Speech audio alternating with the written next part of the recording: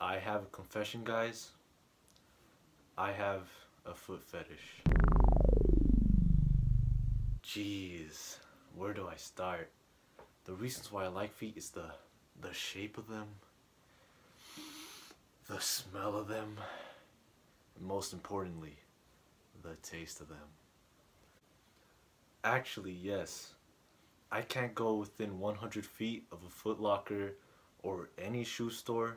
And in the summer, I can't wear shorts because if I look down and I see someone's sandals, then blood might start rushing to my, my you-know-what. And you don't want that happening. What was the incident? I... I don't want to talk about that.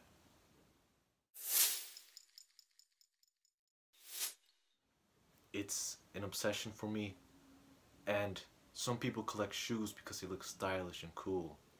I collect them to sniff them. Actually, sometimes I wake up in the middle of the night to get a fix. If I don't get a fix within every hour of sniffing shoes, I get a little, I get a little angry. And, you know, I start yelling at my mom. Well, no, nobody knows, but I'm going to be telling my friend Jackson about this this fetish and you know I've been holding it in for so long I think this is really gonna be helping me out hey Jackson how What's are you How you cutie? What's up? I'm, do- I'm doing good brother Jackson how are you I'm doing alright. What's up, brother? What you needed? Why you call me on these Zoom meetings? It's cause I got something important to tell you I have I've been waiting to tell you this for a while I have a foot fetish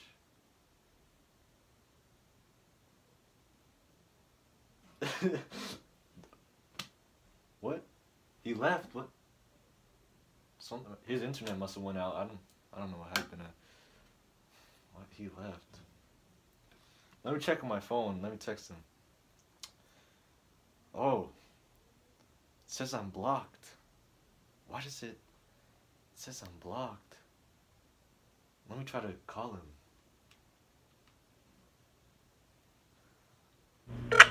Your call has been forwarded to an automatic voice message system. Four eight zero nine zero nine eight. Man must have had a blackout. I mean, I don't. Nothing could really explain it.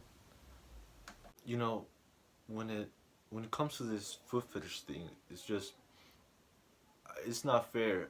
I can't even look down, and I lost my good friend Jackson because of it. I just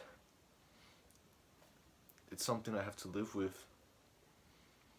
I'm not proud of it. No one would be, but it's whatever.